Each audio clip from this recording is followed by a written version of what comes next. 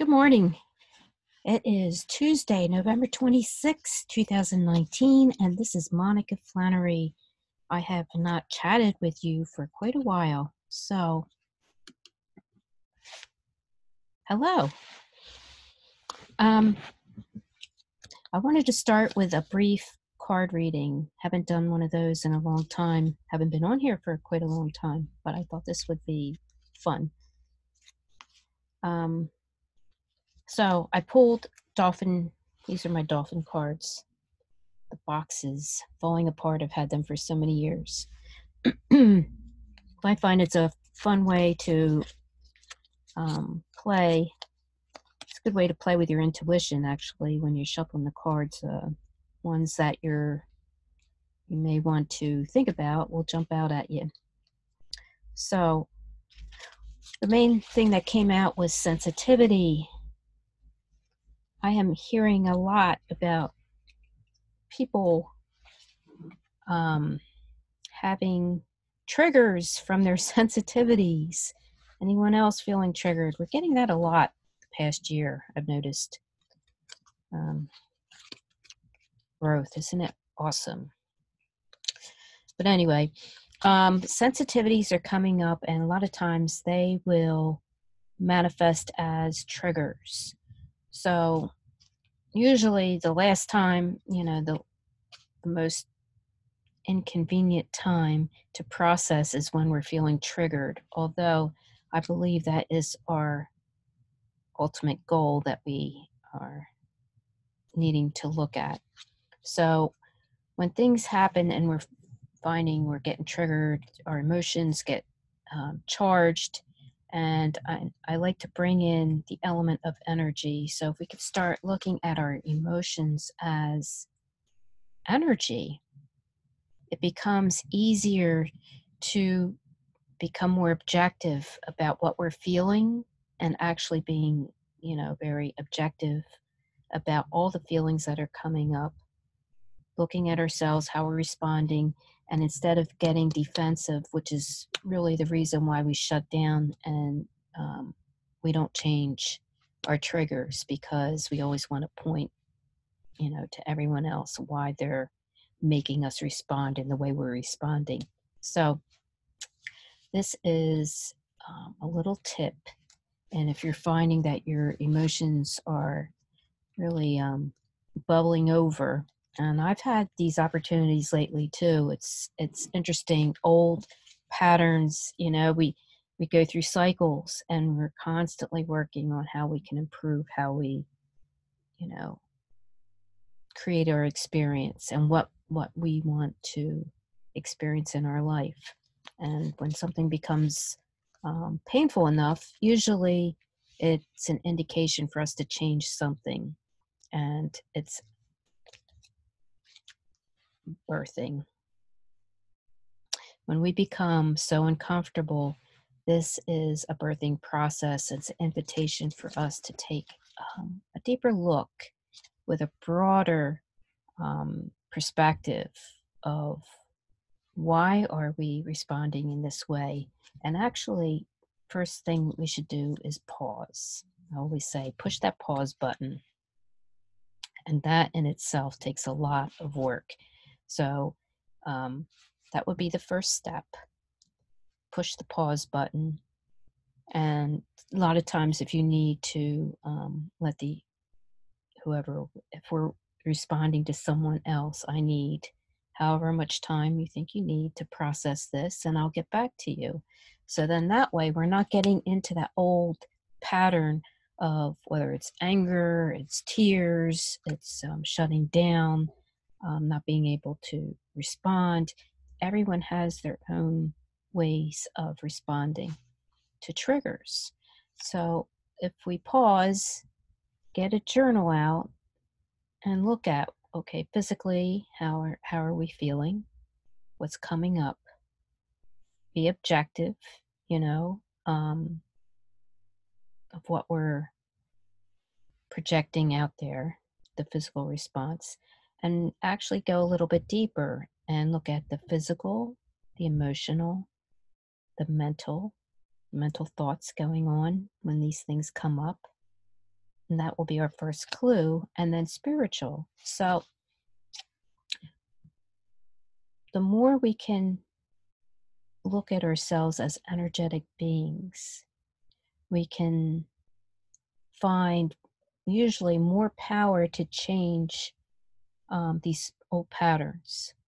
When we get stuck in the feeling the feelings and looking at it from the emotional um, bias, we usually create the resistance where we don't want to change. And if we don't change, then nothing's going to change. So when we expand and look at this is just programs, it's from experiences we had, um, ways that we cope with things that we don't like or we don't want to deal with, and we can always change. So the dolphin suggests, right, play.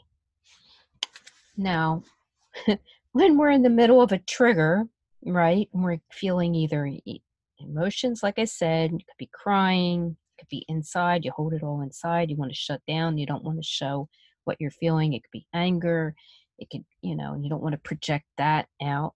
When you get angry, right, a good um, exercise is to take an assessment after you have your response and look at all all the ways that it's impacted other people around us and the situation. Now, I've found a couple times, even when driving, because driving creates a lot of P- PTSD, um, anxiety for me, and I've been working on that for years. It's and 11 o'clock. gotten much better. So, one time I was in the car and having like a heated uh, um, disagreement. It wasn't, you know, a fight or anything, but disagreement. And then as you're feeling very strongly about it, you notice that voices are raising and it's getting more, you can feel the the energy just building up. So when you start to think about energy, it's really amazing to see how we are impacted deeply and how we impact everything around us. So as we're having this heated um, disagreement in the car, actually, I could feel like um, my biggest fear, right? Tractor trailers, and one actually came on over and was like, okay, stop, pause. We're going to pause this for now. I'm not pulling in any angry or past energies um, or experiences into my life. I refuse. I'm going to create, a, and my mantra is peace and ease, peace and ease. And it's been that way for a long time because that is the energy, that is the experience that I want to um, feel and um, live in my life. And that's the what I want to put out too. I just want um, to find ways to create that in whatever situation comes up. And that's been my um, probably one of my biggest goals. So from there, um, the life purpose cards. So the first um, card that came up was time to decide. Time to decide. So this last year, a lot of things have been coming up for people, and um, the more uncomfortable we become, the more um, it pushes us um, to really look do we need to make a change in any of the areas in our lives? And you know it'll be right there in our face to know which which category we need to focus on because it's the one creating the most appearing to be havoc right in our life. And again we bring in the play and it becomes much more smoother to look at it objectively and really see what is it that needs to be changed or that I, you know, you would like to have changed in your life. It could be your relationships, your job, um, your personal goals, um, yourself. You know, we're always looking at our shadow aspects and how we can change our responses to something that feels better right? Because that's our ultimate goal. Part of wellness is we want to feel good in every area of our life. That includes our thoughts, mentally, emotionally. Okay, so if anything's coming up lately, choice points, it's saying now's the time to decide. And you pretty much probably know in your gut what it is that you want to do and which direction you would like to go in. So make a decision based on your heart's true desires, something that's going to bring whatever your um, goals are. Um, journal what you would like to experience in in your job in your relationships what what core values are important for you and they change sometimes over the course of our life so that is a good place to start what is the core value that resonates for you and you want to bring into focus in your life so as you contemplate about which choice or any choices that you need to make, maybe you're right on track and you're very happy with where you're at. You just need to tweak little things here and there. Well, are you being called into a greater leadership role? Contemplate that, where you could step into your own power and and open up more leadership um, qualities and abilities within yourself. Take charge of the situation. You have everything you need. And a lot of times, when we are presented with these opportunities to expand our wings, right? The first thing usually is feeling that tension and that resistance and anxiety and what I've been hearing too is when you feel that anxiety, it's the same feeling as exhilaration, right? It's just how we tend to perceive. So if we look at it as, oh my goodness, this is exciting and this is going to be quite an adventure and let's let's do this. Um, same energy. They both feel the same. It's just how we subjectively look at um, that feeling. It can either feel like anxiety, right?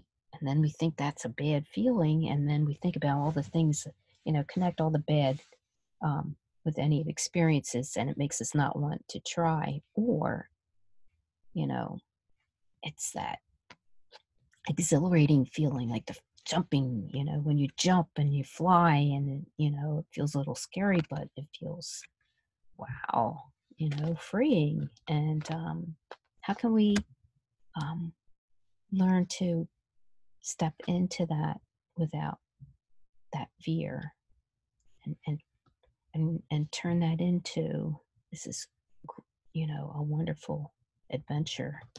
And I can't wait to see what what comes next, right? Because how we project is how we experience if you experience more um, playfulness and more um, what's the word I'm looking for? Um, just excitement, right? And not knowing, and keep practicing that because the more you practice that, um, the better you get. Bigger, bigger leaps we'll be willing to to take, which is what life's all about life is all about growth. So you might as well enjoy it and look forward to it. And that completes our reading because once we can reach that um, perception, right, where we don't have that fear, we're trying, we're learning, we're trying to get rid of the fear, right? And then we realize what is fear anyway? where's that fear coming from? And dig back. Okay, where did that start? And did that really have validity? Maybe back then, each experience is something different and new. And if things keep popping up It's telling us it's something needs to change, and then that the energy of it will change around you. So, invite you to see where you can create more freedom within yourself, in your body, right? You could do meditation and breathing. If you have physical pain, you know, even look at your clothing, the way you move, everything, more movement in your life, but um, what makes you feel better? It's possible. And then the more you do it, you're reaching that higher goal. And then the thoughts, right? Are you willing to open up to new opportunities, new experiences, new ways of thinking? Freedom. Emotionally, how do we view, you know, the emotions? Because when we get stuck in feeling these emotions, that's when it holds us down to blame, guilt, and there's, you know, if it's energy, there's no reason to hold on to any of that. It's how can we change that to something higher that's healing for us and for everyone around us. So I invite you to play with this, and you're free to do what you choose. So practice the pause button. Um, practice looking at your motions as if they're energy and kind of look and see how do people respond you know um, do things improve or does it make things more chaotic? And when it's chaotic does it become more chaotic? Well how can we change change that? And neutralize neutralize and then lift up. We want to feel joy we want to feel peace we want to feel ease and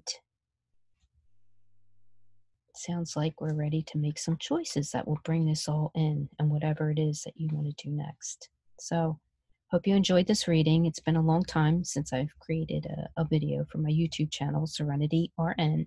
I invite you to tune in, and I have other things planned um, soon. Just I've been busy um, roaming around in an RV, so it's been um, quite enlightening and uh, a lot of growth. I see a lot of growth, and I'm so grateful. So, I, as always, I see peace and ease in every cell of your body right here, right now, and so it is. Enjoy this Tuesday. Let's tackle our Tuesday. You're going to have a great week. Right. Until next time.